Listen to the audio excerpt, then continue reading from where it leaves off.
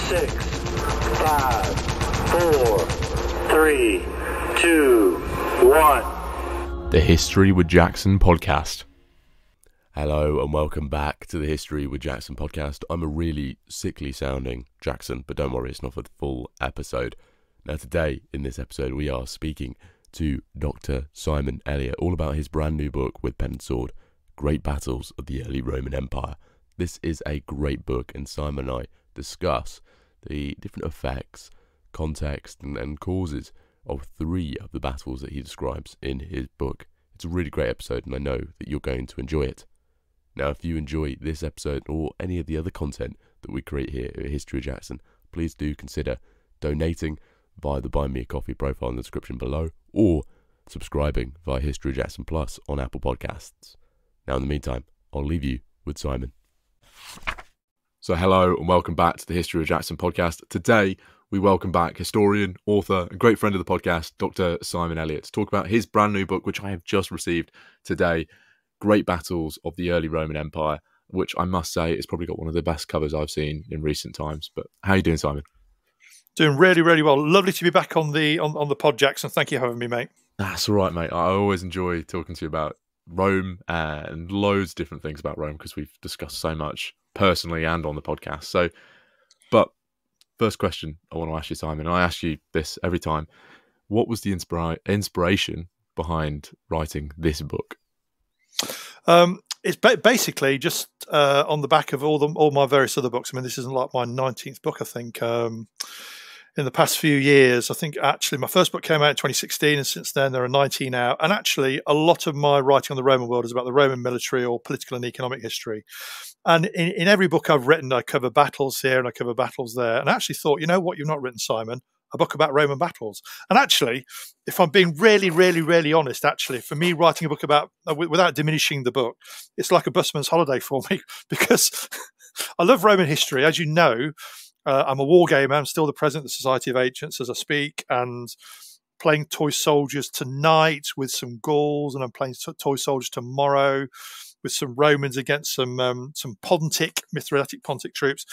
Um, so, so I almost lived my life through the Roman through Roman military history. So suddenly, I find myself thinking to myself, you know what? Why don't you just pick your favorite Roman battles? Now that's difficult, Jackson, because there are a lot. The Roman Empire lasted from 27 BC through to let's say AD 476 in the west, and then the um, Roman Republic lasted from 509 BC to 27 BC. So that's a long period of time. That's a lot of battles.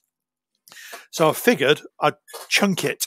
So I've initially gone for this this chunk, which is the first half of the Roman Empire, early Imperial Rome. So this is the phase we call the Principate phase, uh, when the Roman Empire was at its height, when it was always moving forward. More often than not, it won, and if it lost, it learned from it and then won. So the moving forward bit.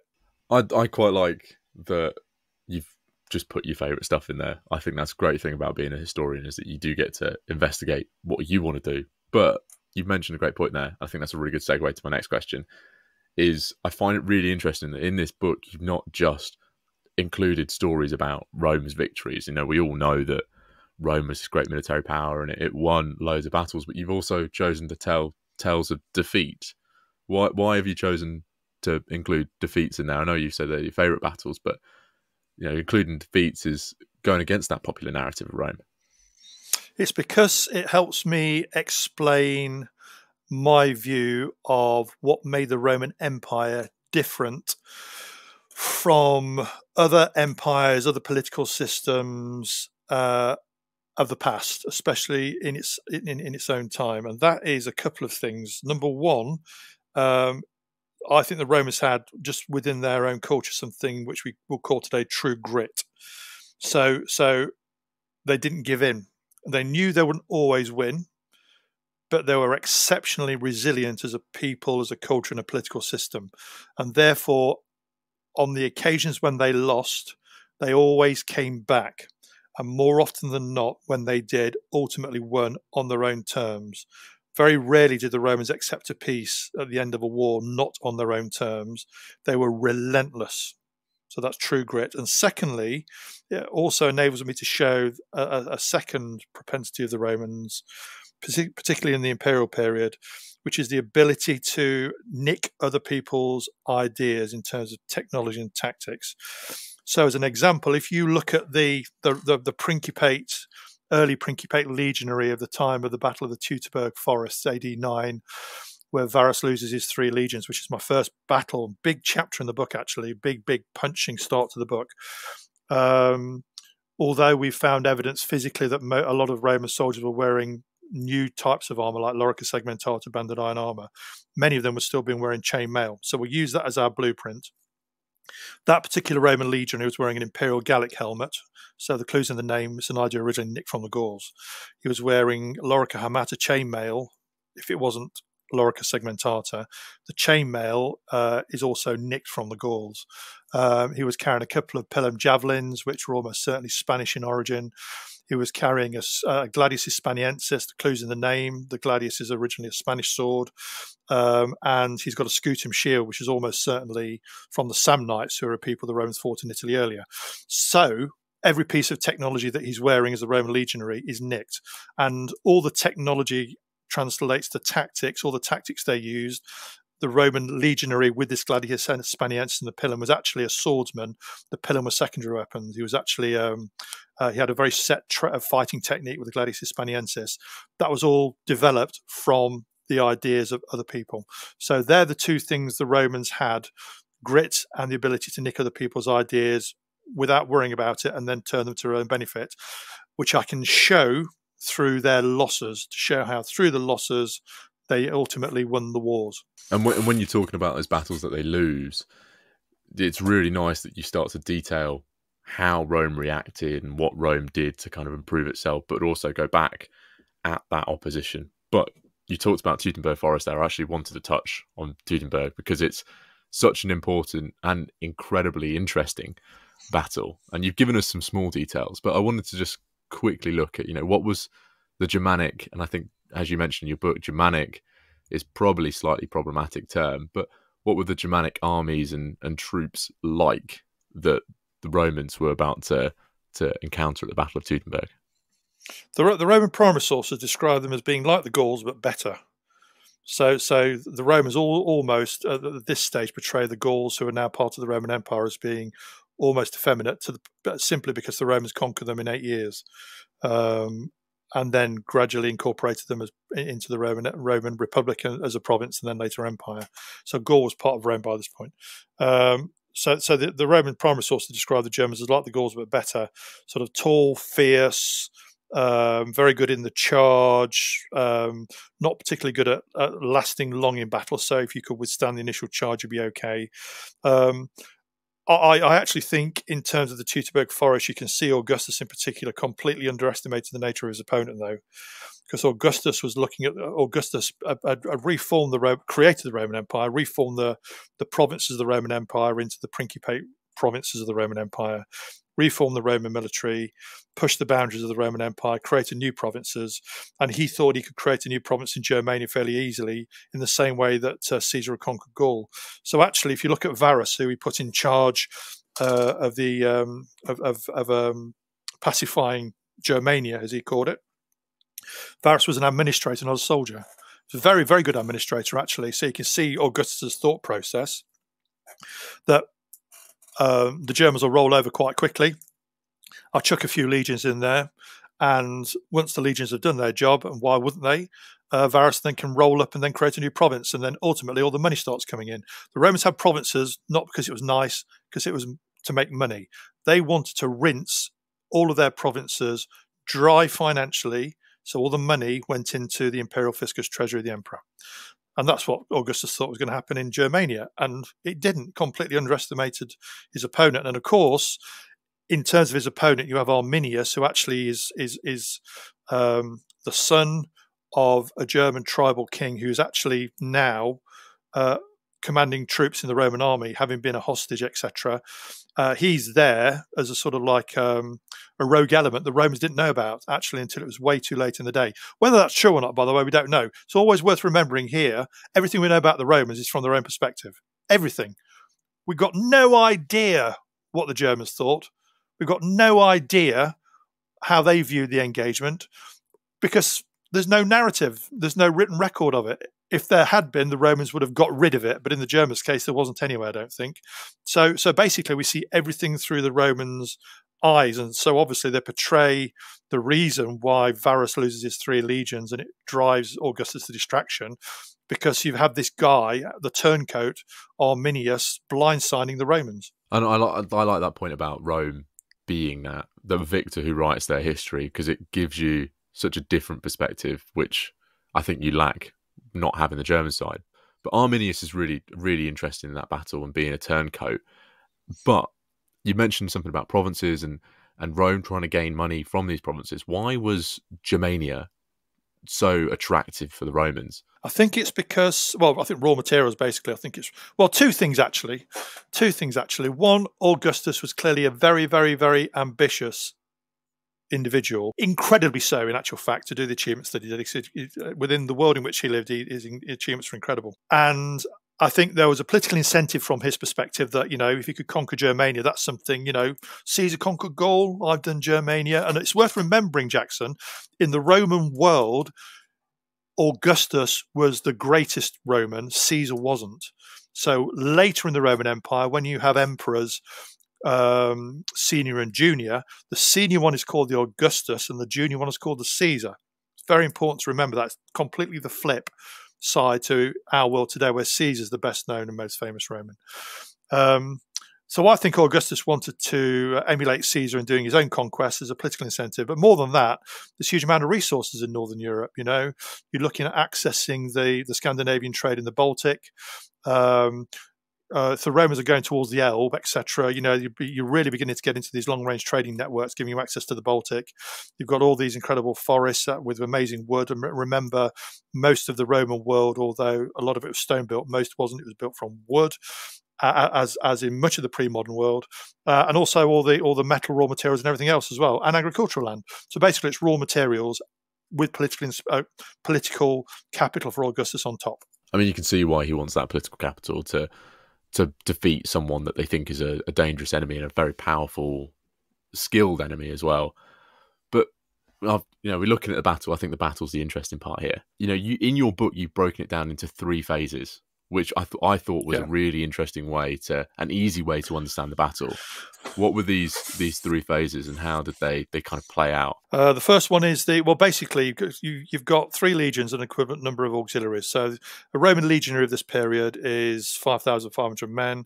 So you've got over sixteen thousand legionaries and an equivalent number of auxiliaries, foot and mounted.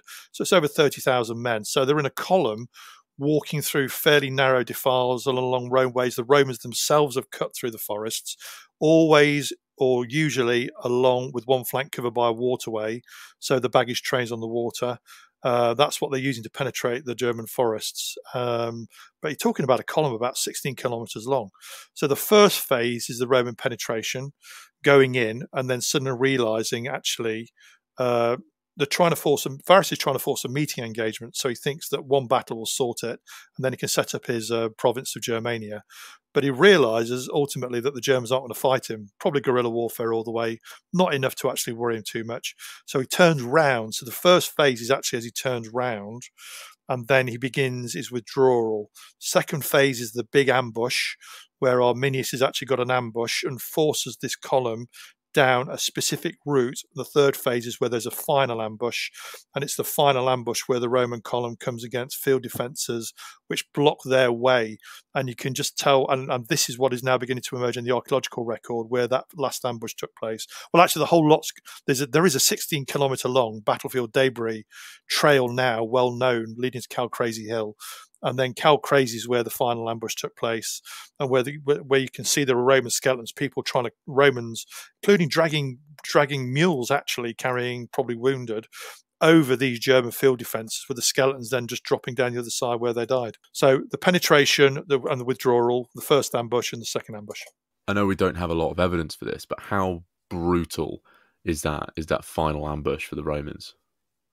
The whole lot's brutal actually, because um, you're talking about a clash of cultures here where the Romans fight. Well, the Romans basically dehumanized anybody that uh, was not Roman, full stop. uh, anybody who was north of the the the, the, the Limes, uh, the frontier, and on the Rhine and Danube, they were barbarians uh, who were completely dehumanized. Um, so that so it's brutal from the Roman perspective. You know, the Romans thought nothing of slotting any any captives they got if it would prove a point for them. They they would carry out a genocide against populations who rebelled against them. So so the Romans did dehumanize their opponents. So that's brutal on the Roman side. Germans Germans are fighting for survival with nothing to lose, and in their own territory they know, they know well um, against a, an opponent that they know dehumanizes them and they in turn dehumanize the Romans. So it's the worst kind of conflict with no quarter given either side, and it's as brutal as you can think. The fate of a lot of the, and again, it's from the Roman narrative, remember, but the fate of the Roman, the prisoners who were caught, according to Roman contemporary authors, was uh, too gruesome to describe on a popular podcast, Jackson. Lots of stakes and spikes involved. Well, I think we can only imagine, really. But that, that coming across that archaeological evidence of that must be gruesome just looking at that as well, without even having what was there. And then, then it's interesting. I'm going to touch on it in the conclusion as well, Jackson. That um, from a Roman perspective, this is such a terrible, terrible defeat. Uh, so embarrassing for all concerned that actually it plays out throughout the rest of Roman history. It's always there. It's like Cannae, uh, the defeat at Cannae in the Second Punic War when Hannibal annihilated the Romans, the second big battle of Hannibal's invasion of Italy. You know, it's one of those battles which, and it's like Adrianople in the later dominate phase of empire. I actually mentioned the three in linked, linked almost in the, the, the big Roman defeat. Could have been Allia when the Gauls defeated um, the Romans and sacked Rome uh, in the fifth century. I don't think it was that. I think it was Cannae, which was the big Roman defeat in the Republic. And then you have Teutoburg Forest in the Principate, and then in the Dominate, you've got Adrianople. Their three defeats the Romans sit on the Roman psyche forever. So all those other battles I've got, every all the other seven after Teutoburg Forest in the book, there's a thread going through about the Romans not wanting to lose again to that level.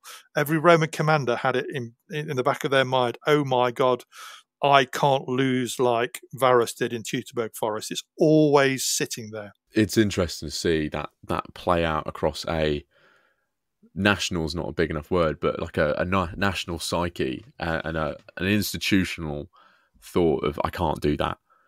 But what was and, we, and you've discussed the Roman response often being to learn and to go back. How did the Romans learn, and what was the the effect of them going back? There was well, well. Firstly, when they went back, they went back. It's interesting, actually, when um, Tiberius goes back. Tiberius actually is very cautious, and he has a council of advisors around him when he leads the first punitive expeditions afterwards, which were all very successful, by the way. So from that point, the Romans keep winning, and eventually Varus dies not at the hands of the Romans, at the Germans. Um, so um, the Romans actually do learn the lessons. They know now how to campaign north of the Rhine into Germania.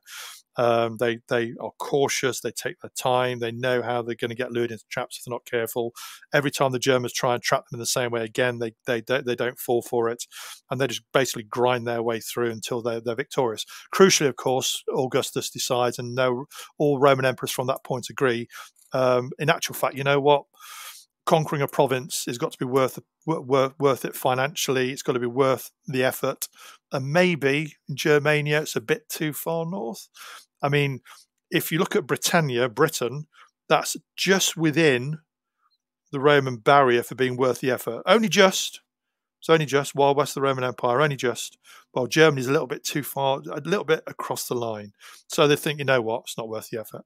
And so they're therefore um, plonk the northern frontier and start fortifying it along the Rhine, and it stays that way for most of the rest. Well, the rest of the Roman Empire, full stop. It's always interesting to see where Rome kind of draws that line of well that's not worth the effort it's quite it's quite a logical business mind of thinking about things in terms of their returns for themselves if you look at the if you look at throughout the the, the entirety of the roman empire you've got three provinces well one two three four five so uh, five provinces i'll lump the last three together in a minute so five provinces which are marginal. So Britain is marginal, definitely marginal the whole time. The Romans never conquer the far north of Britain. It costs a huge amount of money for the Romans to, to maintain that northern frontier in Britain. Almost certainly not worth the effort ultimately, but they continue until the early fifth century simply because no Roman emperor wants to lose face. Second one's Dacia, which is the redoubt province north of the Danube. Um, and Dacia conquered by Trajan, huge amounts of kudos. Trajan's column is the best example you can see of that. Um, so Dacia, but but Aurelian, of the year he died in 276, towards the end of the crisis of the third century, Aurelian is a great, great hard man warrior emperor. He abandoned Dacia because it just wasn't worth the effort.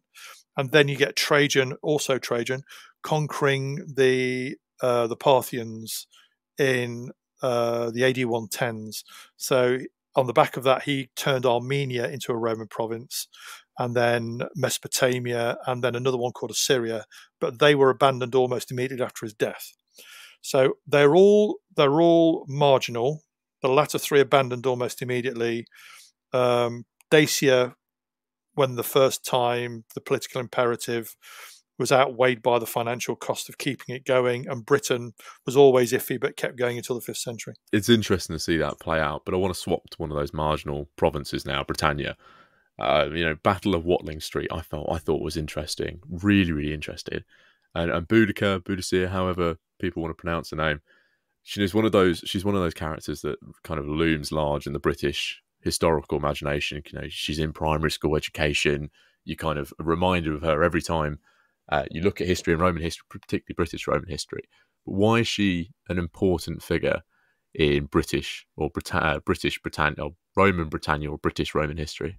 The Romans loved. So, firstly, to re-emphasize, uh, we know everything we know about Boudica because of the Romans, because of what the Romans wrote, um, and the Romans loved a good opponent. They loved a good female opponent, actually. So Boudica is one example. Zenobia, the Palmyran queen, is another great example. Um, Cartimandua, who was a Roman ally, the queen of the Brigantes, is another great example. Um, uh, uh, and uh, Boudica in particular was very important because Boudica, if she'd won the final battle against Paulinus, the Battle of Watling Street, which is chapter three, I think the Romans will actually have abandoned the province. Uh, there's a link actually between the Battle of the Medway, second chapter, which is when Plautius leads the Claudian invasion in AD 43, which sets up the province. The Battle of the Medway is the first massive major battle the Romans fight, and, and that's a two day battle, which they nearly lost. They'd have lost that, I don't think they'd have been a Roman province of Britain. If Boudicca had won in AD 60 61 later, I think the Romans would have abandoned Britain. So there are two tipping points there in those two chapters two and three, where if history had been different, if you're writing a counterfactual history, which would be an interesting example, uh, an exercise in itself for us, uh, Jackson. In fact, it'd be a very good podcast actually to do this, this to do to do to do to do this book as a podcast, but actually counterfactually, what would happen if the result was different? But anyway, that's a different day. Um, if the Romans had lost either of those two battles, the history of Britain would have been completely different, and therefore the history of northwestern Europe. I, I mean, I want to do that podcast now. I'm not going to lie, I really want to do that podcast now. but it's it's always interesting to see those tipping points in history and what what could or couldn't happen if something didn't go someone's way. But you know, what was she like? As I know it's from a Roman perspective, and I'm always very cautious about from Roman history. But what was she like as a person? What was her story, and what was happening?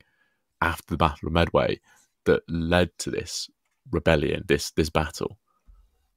Well, if, if you, again, if you link the two, uh, something that most people don't realise is the Roman process of conquering Britain was a very, very lengthy affair. Uh, it's nothing like Caesar's conquest of Gaul when he killed a million, enslaved a million out of a population more widely of 8 million. So it's no surprise then that ultimately in 52 BC onwards, the, the Gauls effectively conquered. It becomes part of the world of Rome. Eight years. In fact, six years actually, if you look at it factually accurately, six years. For Britain, it took almost 40 years for the Romans to settle on the line of the northern border, which later became Hadrian's Wall, the uh, the Tyne Forth Line. So, AD 43, Claudian invasion, Plautius invades. October that year, the Romans have got to Camulodunum and Colchester. The province is declared, but that's only the small southeastern corner of Britain. And then you have campaigns of conquest which start snaking out from that point through all the way through to the Boudiccan period, and then later into the AD 70s and 80s with Agricola, who ultimately establishes this northern border. And for the first half of that, you're building up to the Boudiccan revolt. So at the point Boudicca is rebelling, the north of England is still not part of the world of Rome. The line then, the border is on the line from, say, uh, Chester through to the Humber. North of that, you've got the Brigantes, who are a Roman client state probably, but they're not part of the Roman Empire. And the Romans are still at the point when Boudica revolts, still engaged in Wales, trying to pacify Wales, which they don't fully do until all the way through to Agricola in the 70s and 80s.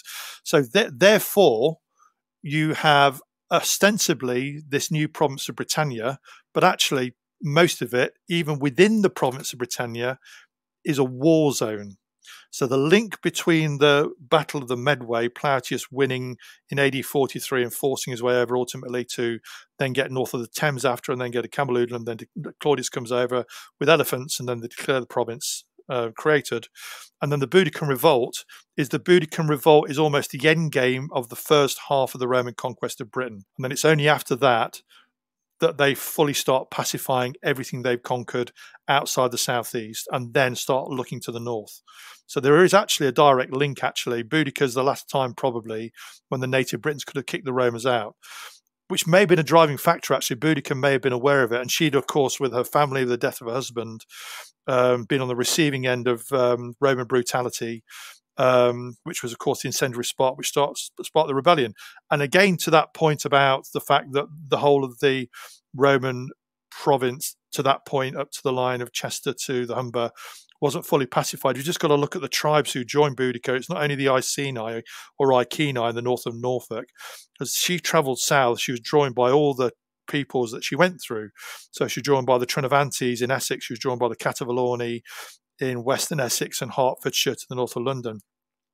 And then anybody else that she could get involved as well. So actually, the south, and it's interesting, the Cantiaci in Kent didn't join in. So you can see almost the part of Britain actually, which was only fully pacified at the point, this is AD 60 61 of the the Battle of the Medway and the Plautian invasion for Claudius is AD 43. So you're looking at 17, 18 years. 17 years, 18 years after the conquest, when Paulinus is now fighting in Wales and the Brigantes are a client state in the north, it's only the Cantiaci actually are really, really, really, really, really part of the world of Rome. It's bizarre to see that unification of, of Britain against the Romans because it's not something that, you know, even in schooling education here in the UK, it's not something that's just taught. You have the Iceni and you have Boudica and that's that's it. You're really taught.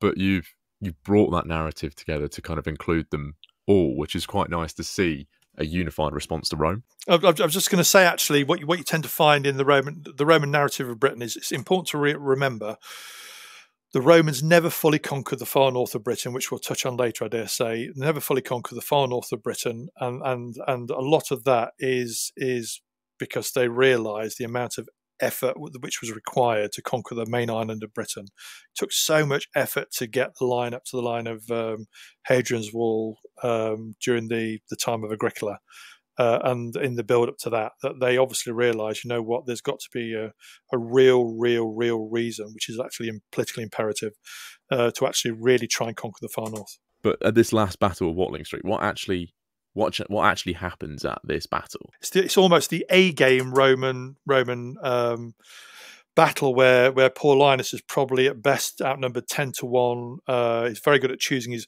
Basically, he's in Wales at the time he hears of the Boudiccan revolt. By the time he's engaging Boudica, she's sacked Colchester, which was then the provincial capital. She's about to sack London, and then she goes on to sack St Albans, moving up Watling Street.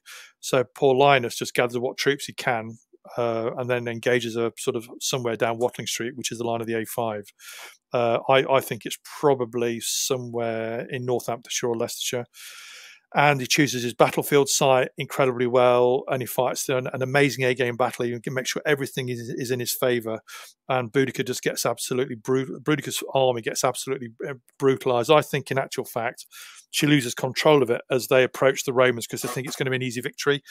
And actually, it proves exactly the opposite. They just get butchered. She's dead either through poison or her own wounds quickly afterwards. That's the end of the Boudiccan revolt. And actually, you can see the results of it in North Norfolk in the lands of the Iceni even today. If you go to Venta Icenorum, which is Caistor St Edmunds, the modern uh, town, which was the Roman provincial capital, the Civitates capital of North Norfolk. Uh, it's the most undeveloped uh, Roman civitas capital in Western Europe. Uh, it's got the smallest theatre, Roman theatre in Western Europe. Uh, many of the plots of land within the town boundary later walls are undeveloped and never used because the population is is decimated by the Romans, uh, and for generations, if not centuries afterwards, it's underpopulated. You're, you're making a good point about archaeology and the importance of archaeology in helping learn about the effects of these. You know, why why is archaeology why is how helpful has archaeology and archaeological digs and findings been in helping us learn more about these battles, Watling Street and, and Teutoburg, the the ones that we're going to look at later? They're all, it's incredibly important archaeology because without sounded like a cracked record, everything we know about the Romans' opponents and the battles the Romans fought about the Romans' opponents, including the Parthians actually, and the Sasanian Persians later, is from a Roman perspective. There's no narrative really, apart from inscriptions in a few cases, um, giving any any sense of what their opponents thought. So archaeology provides you with balance, especially when you're dealing with Roman defeats like Teutoburg Forest, archaeology, especially modern archaeology, which is interrogative and science based, provides data. And as a historian, you will know, and I know, we rely on interpreting hard data all the time. And archaeology, through its science based approach, provides you with hard data. So it helps balance a pro Roman narrative. Yeah, unfortunately, we do have to deal with science numbers, which can be quite difficult for for people who aren't traditionally number based. But what we can do is use clever people to advise us all their own references. Yeah. I like that. I'm going to use that line next time. yep. So I want to look at one final battle, um, which is yep. the battle. I'm going to I'm going to absolutely butcher this, so I do apologise, Simon. The Battle there of Carnuntum. Um, Carnuntum, spot on. Oh, there we go. I'll take that. Which was part of the the Marcomannic Wars. So firstly, that's part of a group of wars. What were these these group of wars? So you go through in, in the mid second century, the Roman Empire is at its height, and the reign of Antoninus Pius is the longest reigning Roman empire in a period of, with a, with a period of peace. Uh, and he dies uh, in AD 161. Marcus Aurelius and Lucius Verus become the diarchy, the dual emperors, uh, and they're faced immediately after a long period of peace with um, conflict. So initially, they have to fight Vologases II, who's the Parthian king on the eastern frontier, who invades Armenia. Uh, and Lucius Verus actually leads the campaigns against that, that uh, them, and that's 161 to about 165. And ultimately, the Romans are successful in the, the Roman Parthian war there.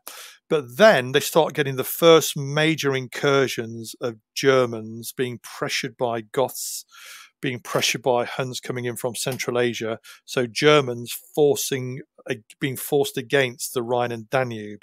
So the Marcomannic Wars lasts from AD 166 to AD 180. It's a very lengthy series of conflicts. Three are itemized, uh, the first, second, and third war, but there are conflicts in between them as well, where there's permanent pressure on the northern frontier, and often they the, the Germans. Uh, the ones who are named the Marcomanni and the Quadian, their allies from the east were the Sarmatian uh, Iazyges, who the Sarmatians are mounted lancers and horse archers. The Germans are fierce, largely foot based German warriors, punching their way occasionally and often very deep within the Roman uh, provinces south of the Danube.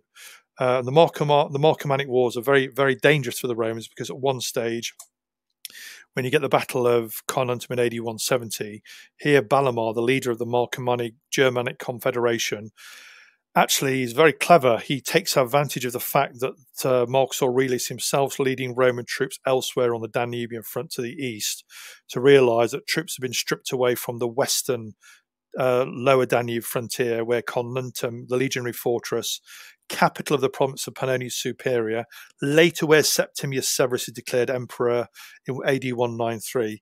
There he realizes the Roman troops have been stripped away, so he actually takes advantage and he punches his way over, severely defeats Legio uh, 14 Gemina, which is an elite Roman legion then based at Carnuntum.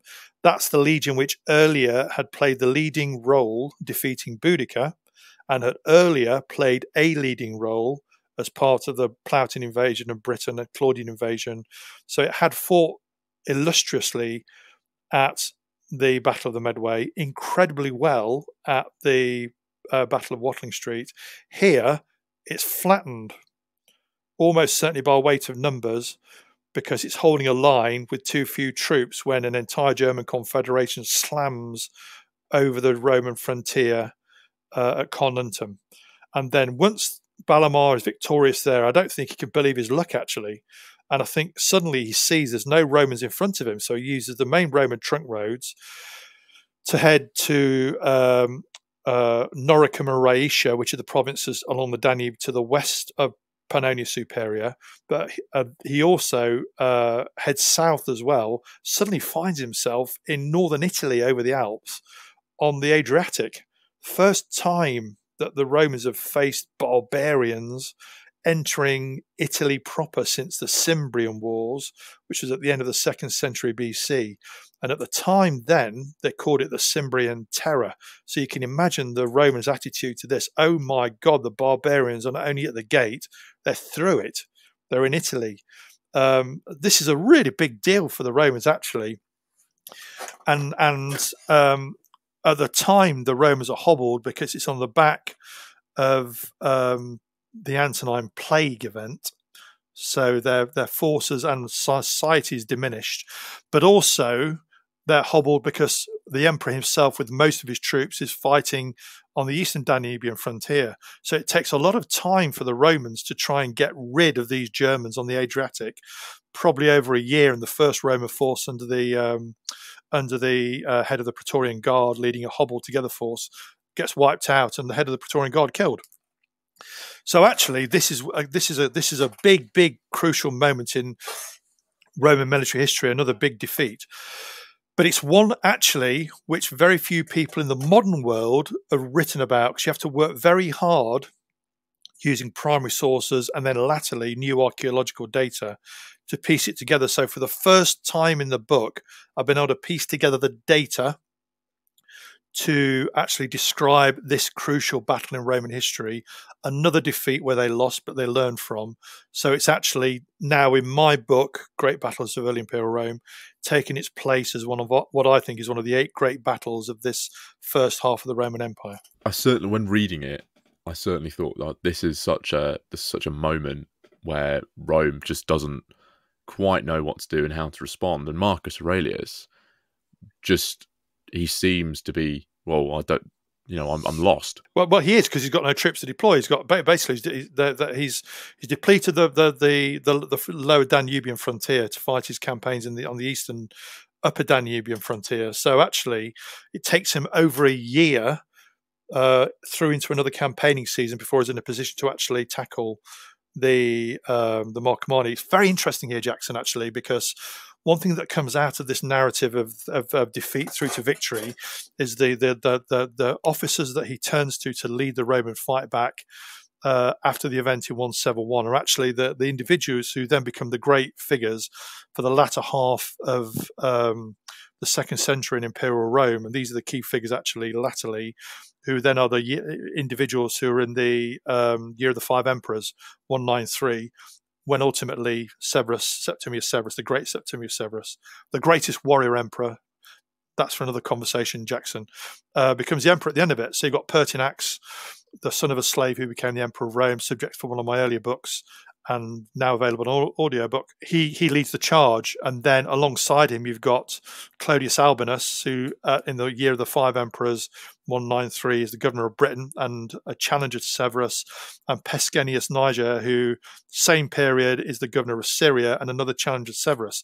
So this is a band of brothers who, on behalf of Marcus Aurelius, lead the charge ultimately win the Marcomannic Wars, survive the degrading experience of being a leading Roman in the reign of Commodus, subsequently when Marcus Aurelius dies in 180, and then um, survive through to become the this band of brothers is, is, then at the height of their power in the year of the five emperors, when suddenly they're set set against each other like cats in a sack. Fighting for the um, fighting for the throne, a band of brothers in one nine three turns against each other. I think I think what's interesting about all these these battles is it you know it shows the the kind of response from natives, natives for want of a better word, to Romanization, which is a term that you use in your book, but also the the kind of military industrial complex of Rome. And I think it's quite interesting to see those play that play out across all these battles because obviously I don't want to ruin the other five, but the, how they play out across Rome in these battles in the early imperial period. Two points to make there, both very good, very good observations. Two points to make. One, the Marcomannic Wars is the central feature in uh, the Rise and Fall of the Roman Empire, the great um, epic Roman film in, in, in, from from Hollywood before Gladiator, and then Maximus's victory uh, at the beginning of um, Gladiator is actually the defeat of Balamar uh, at the end of the uh, at the end of the first Marcomannic War. Uh, Maximus, by the way, Russell Crowe, is actually based on Maximianus, who's another one of the band of brothers. So he's a contemporary of Pertinax, Clodius Albinus, and Pescennius Niger. Now, in in the fall, the, the, the, rise and fall of the Roman Empire, in the the, the original classic Hollywood movie, um, is also in that, and the Romans are portrayed as being trying to to civilize Germania, Greater Germania in this case, and bring the Marcomanni into the imperial fold. There's no evidence of that. Actually, I think they'd learned the lesson from the Teutoburg Forest campaigns. They basically just went in there, slaughtered as many people as possible, tried to make the point, and they've refortified the line, limes, and usually it worked. Sometimes it didn't work afterwards, but usually that worked. I don't think they had any intention of creating a greater Germany north of the Danube. And the first time the Romans could get out of Dacia north of the Danube with Aurelian at the end of the crisis of the third century, they did. It's hard work, cost money. Um, so that that's one. Uh, and and then secondly, in terms of the Roman military industrial complex, well, the Roman military was the Roman state. In the Rome in the Roman world, you have no civil service in the way we see it. A Roman province probably had 80 administrators in Britain for a province of 3.5 million. Today, civil service in a modern Western economy is probably minimum 25% of the population. Um, the Romans didn't have a free market in which they could raise capital to build public buildings and big stuff. And the Romans didn't have um, uh, state-run industries in the same way as I grew up. That you had a, the National Coal Board and things like that. So in the Roman period, if you have big stuff needing doing in terms of running the state, uh, building stuff, or running industry, all you have to turn to the military. So never forget the Roman military is the Roman state. Every big Roman building is built by the Roman military, no matter what it is. Even if it's a temple in St. Albans, the people who would have built it aren't local artisans. They're actually, it's the local Roman military who have the experts to do it. If you look at the Roman metalla in Britain, the ragstone quarrying industry, which built Roman Britain in the Medway Valley, that's run by the Roman Navy, it's the Roman military. And if you look at who you turn to when you have only 80 administrators to run a Roman province, let's say Britain, well, the governor and procurator recruit people in from the Roman military called beneficiarii, who are usually legionaries or centurions, who are then turned to civilian role. They're military, but do a civilian role, helping administer the state in some way, shape, or form. So the Roman state is the Roman military and vice versa. So, in a much, much, much more overt way than in the modern world, the military industrial complex is Rome. It's one and the same. That's an element that's kind of forgotten when we look back on Rome. When you look at the culture, you look at the buildings, you look at everything that still survives today. It's it's def- the role of the military within that is is forgotten and and kind of glossed over. Totally agree. For you to let's pick an example, uh, based on another one of my idea books, Roman Britain's Lost Legion, plug, plug, plug. But that's about the Lost Ninth, Legio 9 Hispana. One of the reasons we know it disappeared is because when Hadrian's Wall was built, it was built by the Roman military, and every military unit which was involved, which was every Roman military unit in Britain, including the Classis Britannica fleet, left inscriptions on the sections of wall or forts that they built. AD 122, 23 through to, let's say, AD 127, 28 on that wall, there's no inscription from the Ninth Legion, so we know it had gone, at least from Britain by that point, because every other unit, including Legio II Augusta, which was based in southeastern Wales, Legio 20 Valeria Victrix, which was based in Chester, they both left inscriptions on the wall, the bits they built, and the regional fleet, and the auxiliary units, uh, but the Ninth Legion didn't. So that's a really, really good example, actually, the Romans uh, uh, to get a snapshot of the Roman military doing stuff. If it was big and dirty, the Roman military did it. I think that's a really nice guide to the role of the military within Roman civilian and civil life, but also a really nice whistle stop of some of the great battles of early imperial Rome. Now, Simon, I have a final fun question for you, and I know you know how these work now, but recently, if if anyone follows Simon on Instagram or Twitter, Simon's been everywhere recently. He's he's taken some amazing pictures. But what was the most thing, interesting thing that you've seen on some of these trips that you've been on? Brilliant. It's a really brilliant question. Uh, I love. I mean, I spent about a month in Algeria last year doing uh, touring uh, the Roman um, southern frontier, which is a, effectively a mirror image of the northern frontier in Britain. Actually, you can almost see it writ large. But but when you go south of the Aures Mountains, and then you're on the fringe of the Sahara Desert, and then you you, you find yourself walking around these Beau Geste-like forts on the fringe of the Sahara Desert. They're Roman forts and that's really for days afterwards, the hairs on the back of your neck are standing up because you're, you're really getting this sort of phrase we use in archaeology, phenomenology, seeing something of the past through the eyes of people who live there not today. You get this really phenomenological experience. I mean, we, we one of the forts I went to, we know it was manned by a, a unit of um, of uh, auxiliary archers from Syria. Can you imagine what they're thinking? You know, from the fertile Tigris or Euphrates Valley, there they are in the Sahara. Getting this sense, oh my God, what am I doing here for 25 years? you know, um, that that was just amazing. Just getting this sense of things that are the same about the Roman world but different, being on the Sahara fringe. So I think being being being um, uh, in any of the major Roman sites in Algeria last year. Probably a highlight to date. Interestingly, actually, Jackson, at the uh, next year, the big British Museum exhibition is about the Roman legions. And actually, in the guidebook to the exhibition, they're using one of my photographs from the legionary fortress um, just north of the Aures Mountains at Lambaesis, which was the home of Legio III Augusta. Interestingly, of course, in Britain, the home of Legio II Augustus, Caerleon in southeastern Wales. And actually, when you stand in that fort there where the photograph's taken from, you could be standing in Roman York because the layout's exactly the same as a Roman legionary fortress anywhere in the Roman world. Always remember the Romans did the same everywhere they went. So, uh, probably in the Roman North Africa recently. Um, and that sounds awesome. I think that's that is that's a really great answer, and and congratulations being on the British Museum, uh, having your photograph. The I can't speak today, having your photograph with the British Museum. I think that's I think that's an awesome achievement. So well done, Simon. What, one more bit of good news for you, actually, I can share with you publicly because I've not shared this publicly on a pod before. Awesome. I'm also exceptionally fortunate just to have been become um, a fellow of the um, Society of Antiquaries. So, uh, so now I, I now have uh, I'm able to put FSA after my name, and that is a huge honour, huge honour for me, because actually to become that, the people who vote for you are fellow archaeologists. Uh, so I love the fact that you put archaeology at the centre of uh, our conversation earlier, because I can't emphasise to your your listeners enough that one of the key benefits we get as historians in the age in which we live today, looking at people who lived in the past is our ability to use data from fantastic archaeology, which so helps me and others when we're writing historical narratives. It really provides a balance which otherwise was missing. Well, congratulations, Simon. I think that's that's a remarkable achievement. I do I do totally agree with you. Archaeology is so so important to to so many historical studies, and particularly in the region that you you learn you learn and write about, where the sources are just from one people it, it does give us a little bit more of a balanced view. Can't can't wait to say more next time, Jackson. Oh, I'm looking forward to it.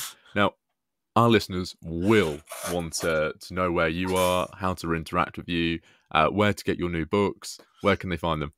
Easiest way is at Simon Elliott 20 on Twitter. If you just want to interact with me on a regular basis, as you know, Jackson, like you, I post post frequently. I give all my photographs away for free, by the way. So when I post on Twitter or any other social media platform, if you want to use my photographs, you can. It's not an issue.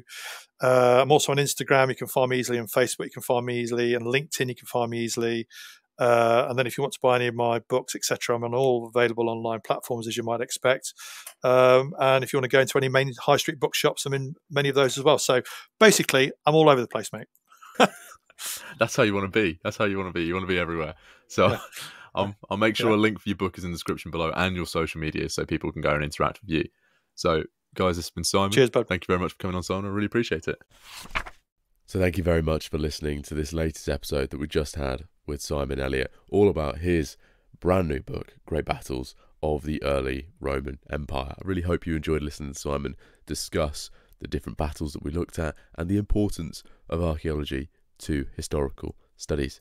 Now, if you enjoyed this episode or any of the other episodes that we produce here at History of Jackson, please do consider heading to the Buy Me a Coffee profile in the description below or History of Jackson Plus on Apple Podcasts. Now, next week we've got another exciting episode lined up, and I know you're going to enjoy that one just as much as you enjoyed this one. So I'll speak to you all next week.